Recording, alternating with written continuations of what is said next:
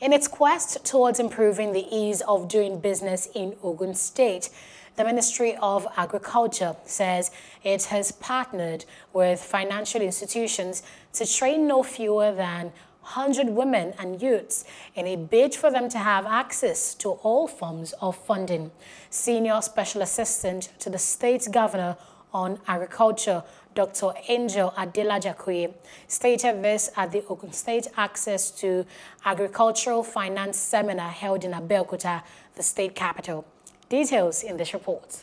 Dr. Adelaja Kuye noted that the goal of the state government is to empower youths into various sectors of the state economy, with agriculture as the major factor towards job creation. She added that the outcome of the training is geared toward ensuring youth and women are investment ready, among others. So this program is for access to agricultural finance for both youth as well as women. It's to give them a leg up and to be able to connect them to where the money is when it comes to getting access to loans, getting access to grants, getting access to investment for their agribusinesses. And it's also to make sure that they are investment ready. Many times they know how to run their business, but to package their business in such a way where somebody can also put funds into it becomes difficult. So after this four-day training, um, they'll be able to, they will go through an enterprise development training and they'll actually learn how to um, put their business plan together, put their financials together, pitch their business, make sure they know how to market and scale and grow very efficient agribusinesses. On how the beneficiaries were selected, Dr. Adelaja Kuye said they were picked from the Ogun State Job Portal as part of the current administration's efforts to reduce unemployment. She said that the initiative behind the program was to boost agricultural productivity agribusiness capacity, and the entire gross domestic product, GDP, of the state. The job portal has been very instrumental for the Ministry of Agriculture when it comes to recruitment of new youth into agriculture.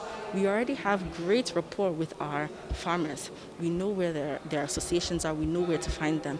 But for the youth to see agriculture as something attractive, we, we make sure that from our programs, they see what the opportunities are, and you notice that they will always log in to the job portal to look for agri opportunities. And so we leverage on the job portal as well as agribusinesses who are known to the ministry that are young people doing amazing things, and we invited them for the program. So these 100 youth are just the first phase. We want to make sure that we handhold them through the process. We'll also be following up with them to make sure that all of them get access to the funds that they're looking for, and then the next batch as well. So. Some of the beneficiaries thank the state government for the gesture.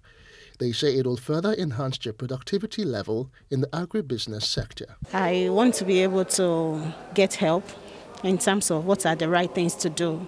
I know that there is a right way of doing things to be able to get help. So I want to get the necessary information, go back to the drawing board and be able to use that information to improve my business. Then we can see that most of us as we have actually put in for different kind of grants and it's not coming in. And different loan like national loan, I personally have put in for it, but I was denied. I couldn't, I couldn't say this is the reason why that happened. So the main reason why we are here now is to teach us step by step how to get the loan. Hello, hope you enjoyed the news. Please do subscribe to our YouTube channel and don't forget to hit the notification button so you get notified about fresh news updates.